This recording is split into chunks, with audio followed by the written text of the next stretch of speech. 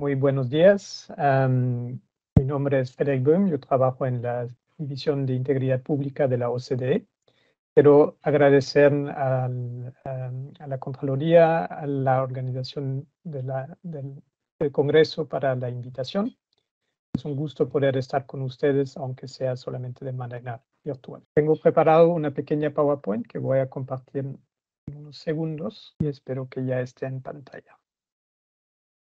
Entonces, voy a hablar un poco sobre la perspectiva de la OCDE sobre una gestión íntegra de los gobiernos. Se basa en las experiencias de los países miembros, pero también no miembros. Uh, voy a empezar con una, un, una, breve descripción sobre lo que es la OCDE, cuál es nuestro trabajo en esta área, um, y luego uh, dar unos ejemplos más concretos. Entonces, la OCDE uh, ya tiene 38 países miembros. En la región ya son cuatro, con uh, México, Costa Rica, Colombia y Chile. Perú y Brasil están en el camino de, de, eh, adherencia. Entonces, la región también está ganando cada vez más peso en la organización. Y yo estoy liderando los proyectos que tenemos sobre integridad pública con países de la región. El tema que realmente nos, nos mueve, eh, tanto en la OCDE como en, como en, la región, es el nivel de desconfianza que va cada vez más eh, bajando, eh, la confianza en los gobiernos. O sea, los ciudadanos ya no confían en, en, en, sus gobiernos. Esos son datos de la OCDE. En promedio, cuatro de cada diez personas confían en su gobierno nacional. es muy poco. Y cuando lo miramos en la región, esos son datos del Latino Barómetro, un poquito más viejos, pero reflejan uh, básicamente la misma tendencia. Generalmente la gente desconfía bastante en sus gobiernos. Y, y entender eso mejor um, es clave porque la confianza es, es, muy importante para el resultado de las políticas públicas y la integridad, de hecho, del sistema también de gobernanza. Uh, la OCDE desarrolló un uh, modelo um, para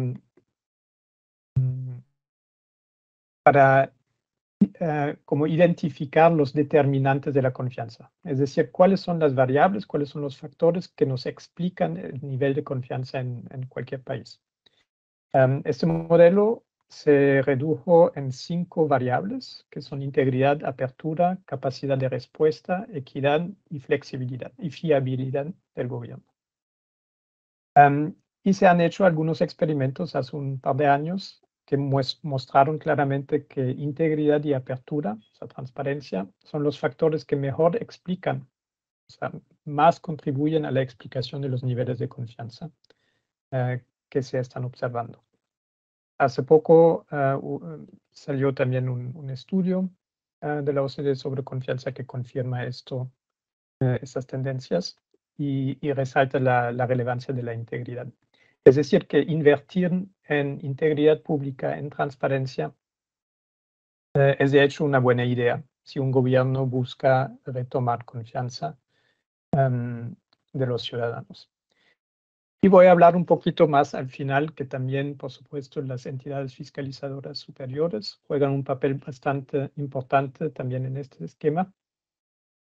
Eh, porque muchas veces, de hecho, son parte de las eh, instituciones en las cuales los ciudadanos más confianza tienen y que tienen esa función de vigilar también uh, al gobierno. Um, la recomendación sobre integridad pública uh, parte de la idea de que un enfoque punitivo no es suficiente para luchar contra la corrupción.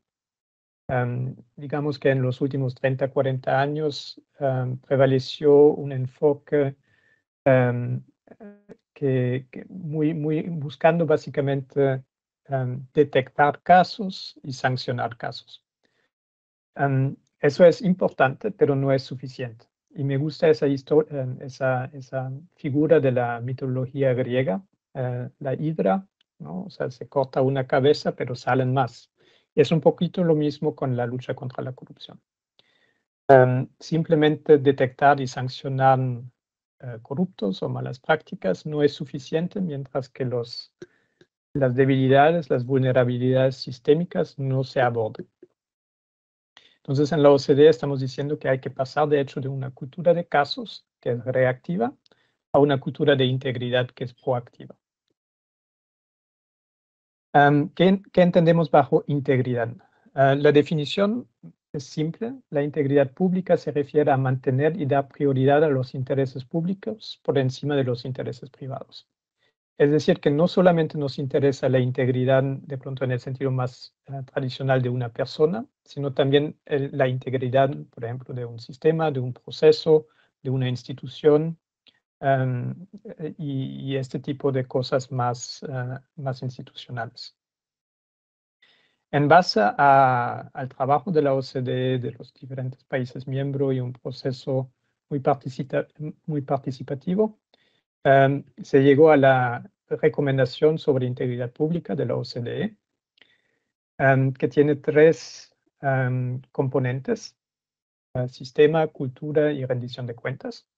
Y en cada área hay eh, lo que llamamos principios que, que, dan orientación a los países sobre qué debiera existir en un sistema de integridad para que sea más probable que funcione y que se promueve la integridad pública en el país.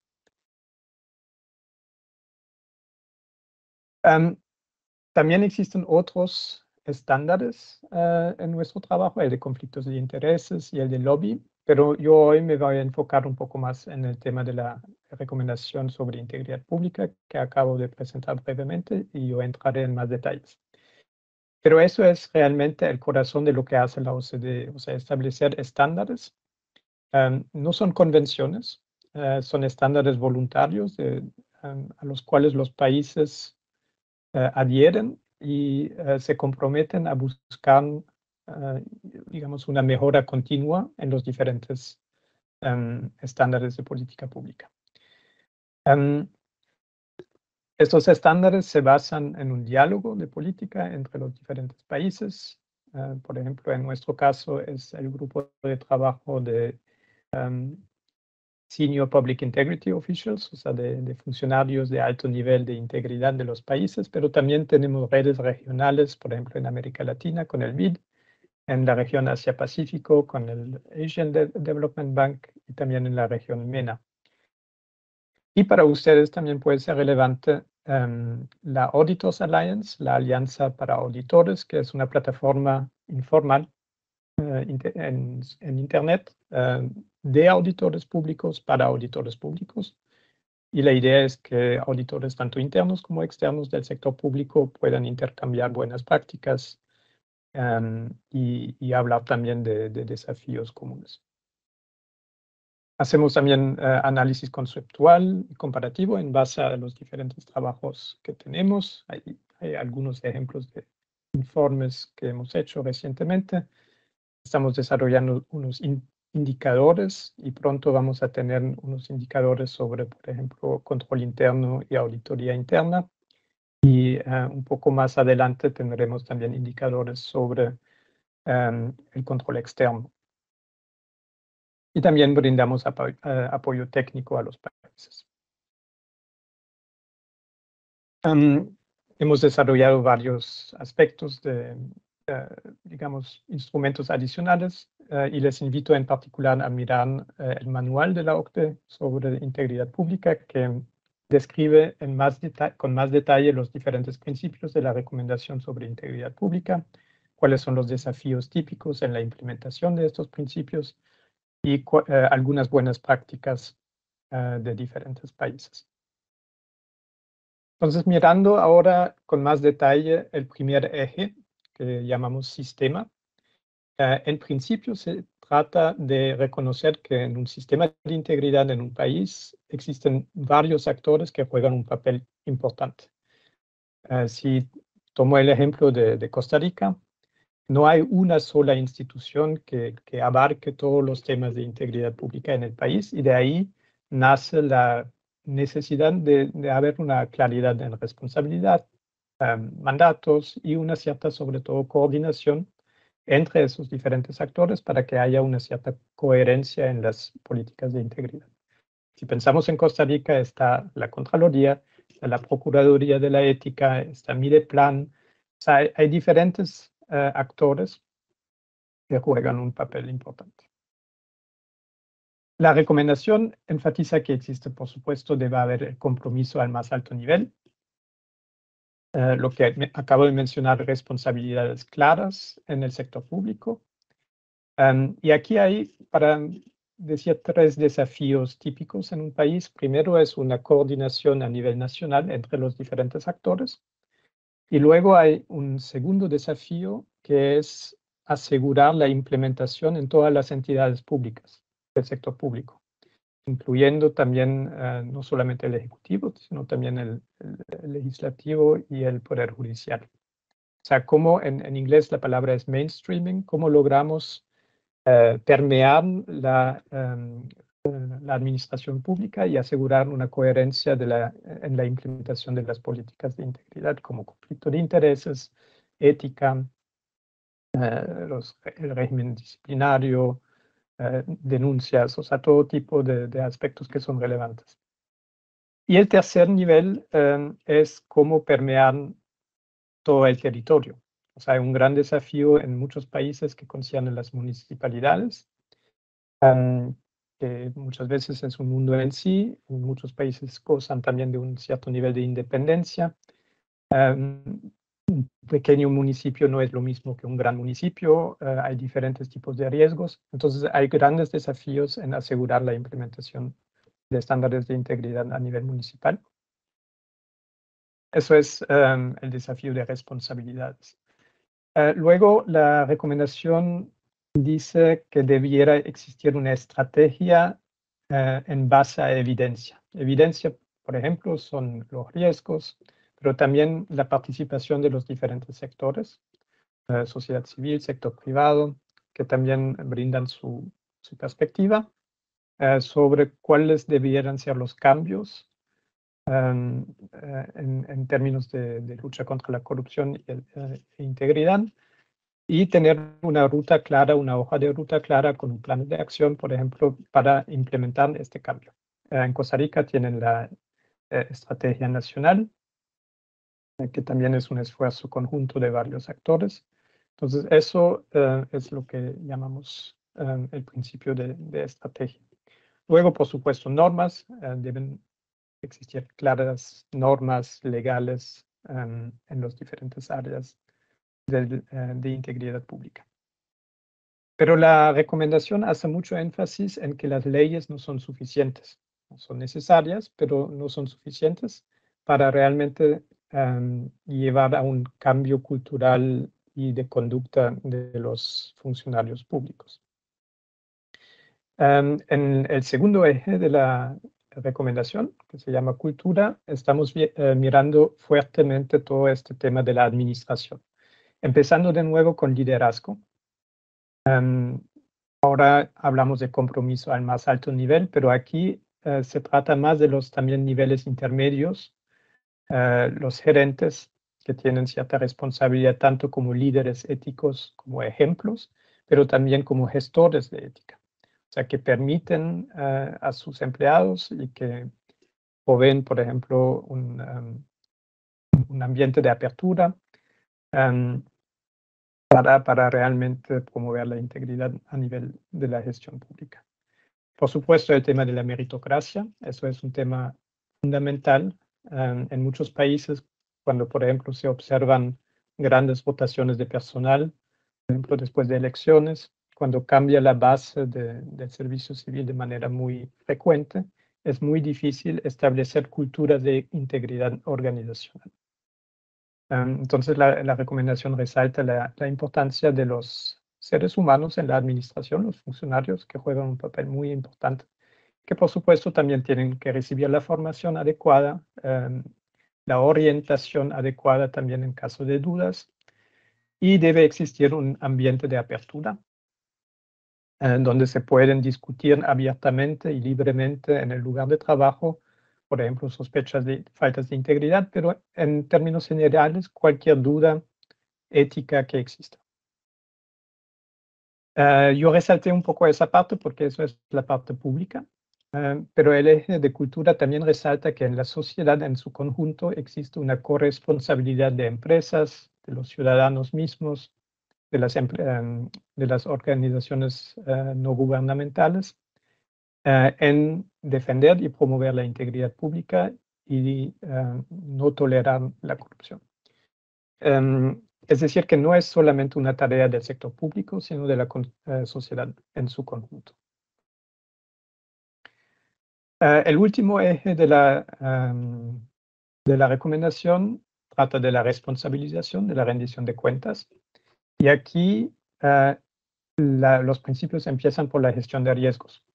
Debe existir una gestión de riesgos efectiva, eficiente, que identifique los riesgos de integridad, que los uh, identifique, que los, o sea, que los uh, analice, priorice y, por supuesto, desarrolle medidas um, de, de mitigación de riesgos. Aquí también está el, uh, la auditoría interna, que juega un papel importante como tercera línea de defensa um, en asegurar uh, controles internos efectivos.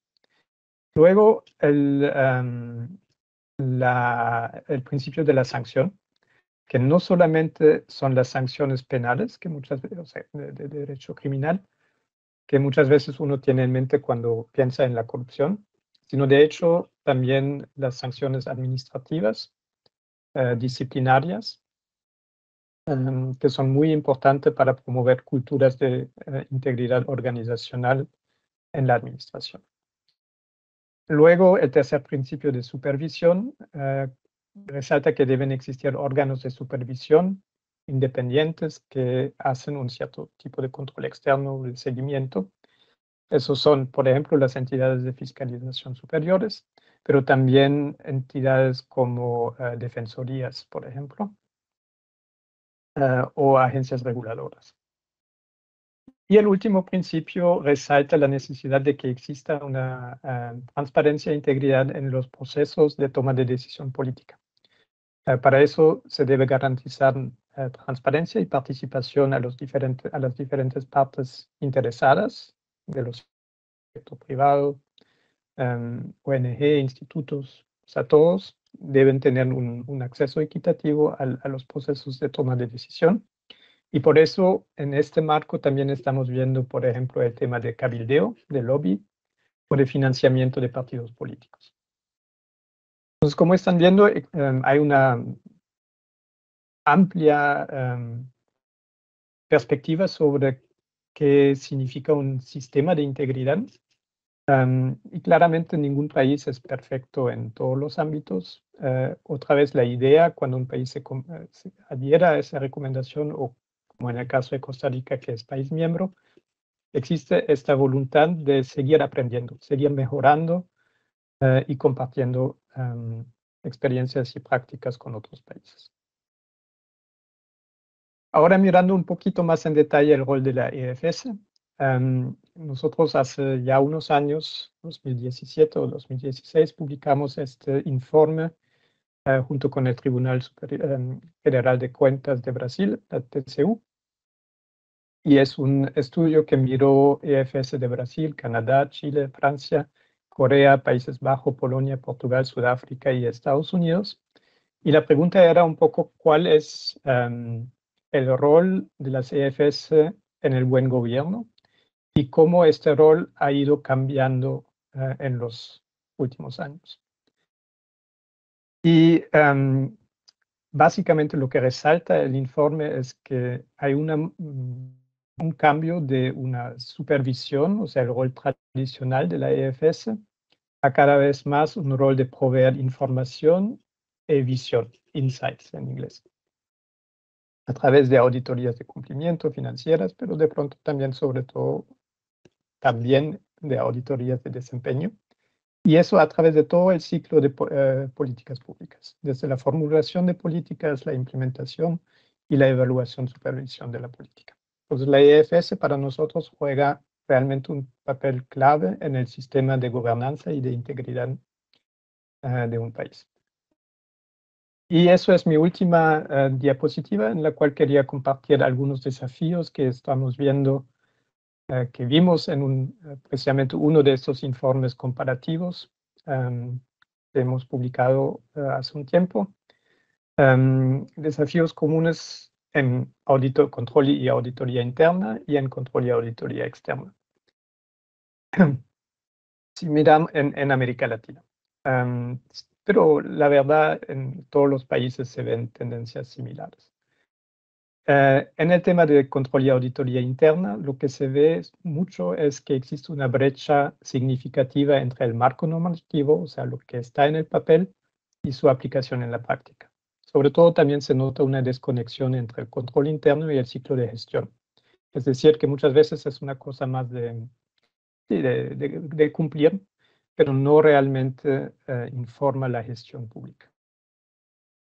Eh, eso está muy conectado con la segunda debilidad eh, de los servidores públicos, o sea, la, la primera línea de defensa desconoce muchas veces su responsabilidad en materia de gestión de riesgos y control interno, o sea, no existe una apropiación de, los gestores em, en, este papel y más bien ven el tema de control en otra, una unidad o incluso la Contraloría. Em, también muchas veces se mantiene una eh, mirada bastante tradicional de cumplimiento, detección de hallazgos y no tanto de cambio sistémico. Em, y en muchos países se requiere fortalecer la independencia de la auditoría interna y también vinculado a brindar los recursos necesarios, por ejemplo, también con equipos profesionales adecuados en la unidad de auditoría interna. Y cuando miramos el eh, control y la auditoría externa, los desafíos son de hecho bastante similares. Por ejemplo, se nota muchas veces todavía una mirada, tradicional de supervisión, cumplimiento, enfocada a la detección de hallazgos. Em, hay un potencial para un control preventivo, eh, mucho más em, apuntando a un cambio, sin ser control ex ante ni, ni, ni alguna coadministración, sino simplemente este rol de proveer información a lo largo del ciclo de políticas públicas para mejorar la gestión pública. Me acuerdo de un auditor en Chile que dijo, um, tenía, tenemos que pasar de, uh, como dijo, tenemos que pasar de diagnosticar síntomas a diagnosticar la enfermedad que está atrás causando todos estos síntomas. Si tenemos muchos hallazgos, por ejemplo, la pregunta es, bueno, ¿por qué tenemos tantos hallazgos? Y, eso, por supuesto, es una pregunta mucho más relevante.